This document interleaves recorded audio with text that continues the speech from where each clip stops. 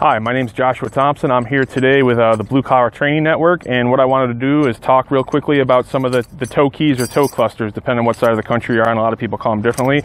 These are some very valuable tools that we carry that we kind of stole from uh, the tow industry for what they use for, and we kind of use them for the same thing, especially getting into vehicle extrications involving um, where we where we need to create some uh, connection points for whether it be for struts or winch cables, and we're pulling vehicles or capturing suspension, and these things have some very very unique and uh, valuable different uh, connections on them that we can utilize. Most of the standard ones you're going to see, like this one from uh, BA Products, it's going to have a large J hook, and this is very, very good for utilizing making connections on the clean side or the upper side portion of the vehicle along uh, B post, A post, C post, things like that. We can hook into them as pull points, capture points. We can hook the, the, the connecting mechanisms, our ratchet straps to our struts to these and give us good connection points on the clean side of the car. On the undercarriage or the dirty side of the vehicle, most of the passenger vehicles we see today have a lot of uh, unibody connections, and they're going to have all those different uh, holes and configurations on there that they utilize coming down the assembly line that are put there for the tow industry, and we're going to have a lot of these hook connections. So we have our, uh, our oblong slots where we can drop this in and then twist it and it gives us a good bite and gives us the ability to hook in as well as our little nub here where we can drop that in a lot of our round holes and lock it in and give us all sorts of different connection points.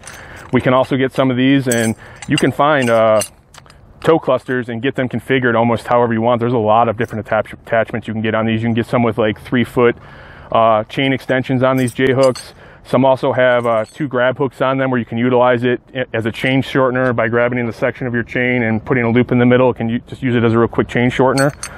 Um, uh, as well as sometimes you can get these with really long J hooks that are uh, like a two-piece bridle and they're great for hooking axles and now that's your connection point. You hook it into your winch or your wire rope puller or your come along or whatever and it's your really quick connection for removing that car for like an underride situation if you have to drag it out from underneath something.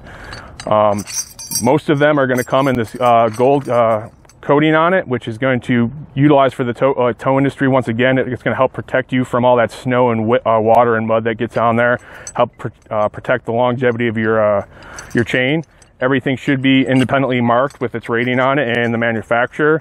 If you are going to use this in conjunction with a higher strength chain, typically your tow, uh, tow keys are going to be grade 70.